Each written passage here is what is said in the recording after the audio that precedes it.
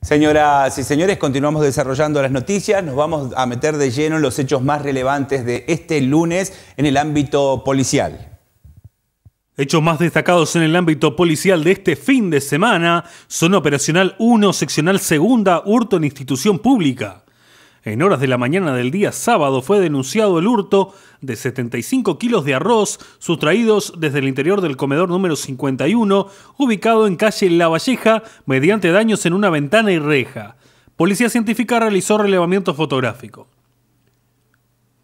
Zona Operacional 2, Seccional Séptima Bella Unión, hurto de herramientas. Desde el patio de una finca ubicada en calle Canelones, en horas de la noche hurtaron una amoladora marca Goldex de color amarillo, dos taladros marca Gama, llaves de boca, destornilladores y una terraja chica, mechas de taladro de pared, madera, metal, hierro, discos de pared, madera, hierro, sierras para madera y metal, una sierra caladora marca Goldex de color amarillo, pinza de doblar varillas tamaño mediano de color naranja, pinza de corte tamaño chico, pinza de color naranja y negro marca Trooper, tamaño grande, entre otras herramientas. los autores del ilícito ingresaron al patio de la finca por el portón de una entrada lateral que no posee seguridad. Seccional sexta, Tomás Gomenzoro, abigeato.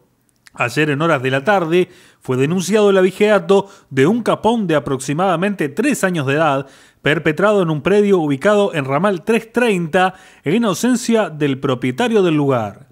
Las actuaciones fueron derivadas a la Brigada Departamental de Seguridad Rural. Dirección de Grupos de Apoyo GRT, siniestro con persona lesionada. Se registró a la hora 17.50 del día viernes frente a una finca ubicada en calle Presidente Berreta. Un automóvil marca Volkswagen modelo Polo que circulaba por calle Presidente Berreta al norte, conducido por una femenina mayor de edad de nacionalidad brasileña que circulaba con dos acompañantes, también brasileños, al pretender ingresar al garaje de una finca ubicada en calle Presidente Berreta, colisionó con una motocicleta marca Jumbo modelo Ciclón 125 centímetros cúbicos, que era conducida por un masculino mayor de edad, quien llevaba como pasajera a una femenina y circulaba en igual sentido, cayéndose ambos al pavimento, resultando la acompañante lesionada, siendo derivada por una unidad de emergencia móvil a un sanatorio particular donde se le diagnosticó politraumatizada estable a espera de tomografía,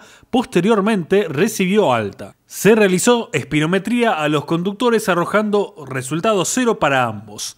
Enterado el señor fiscal letrado departamental de Artigas de primer turno, dispuso que continúen las actuaciones y enterar a la señora juez de paz departamental de Artigas, la que determinó la entrega bajo recibo de ambos vehículos previa presentación de la documentación correspondiente. Dirección Departamental Especializada en Violencia Doméstica y de Género, Abuso Sexual, Ampliación con Hombre Formalizado referente a hecho que fue informado en el mes de abril del presente año en torno a presunto abuso sexual en la ciudad de Bella Unión a una niña de 10 años de edad, en la oportunidad ingresaron detenidos por disposición judicial dos masculinos y una femenina, todos mayores de edad, los cuales resultaron uno de ellos condenado y los restantes formalizados, quedando pendiente la detención de otro masculino involucrado en el hecho, el cual el día sábado 22 de los corrientes en horas de la mañana fue conducido.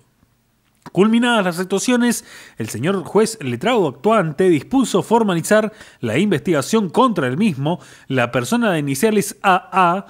por la presunta comisión de reiterados delitos de retribución o promesa de retribución a personas menores de edad para que ejecuten actos sexuales o eróticos de cualquier tipo en calidad de autor, de conformidad con lo previsto en los artículos 1, 3, 18, 54 y 60.1 del Código Penal y artículo 4 de la Ley 17.815, disponiendo como medida cautelar su prisión preventiva durante 180 días, con descuento del tiempo de detención sufrido.